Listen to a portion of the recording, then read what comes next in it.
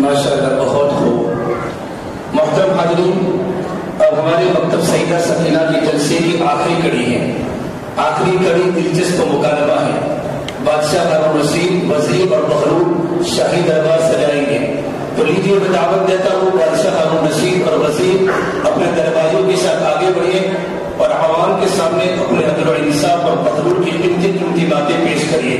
अब्दुल हन्ना अब्दुल रहीम अपने दोस्तों के साथ आ जाइए।